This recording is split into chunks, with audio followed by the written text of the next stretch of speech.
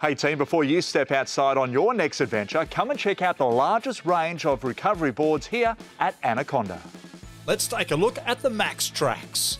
Made from UV stabilized, flexible, engineering grade reinforced nylon for a super tough finish, they're double edged designed for easy maneuvering, and a built in shovel on both ends, paired with six comfortable handles, allows you to use your MaxTrax to easily clear the way for your vehicle. Large footprint, and check out this grip 88 teeth, it's going to grip any tyre. Now let's take a look at the Exitrax ground engagement teeth on the underside to reduce movement and slip, rounded channels to help distribute the weight evenly across the board. Strategically placed engagement nodules that'll get you out of the box quite easily, and it's got a lifetime warranty. Now to the TRED.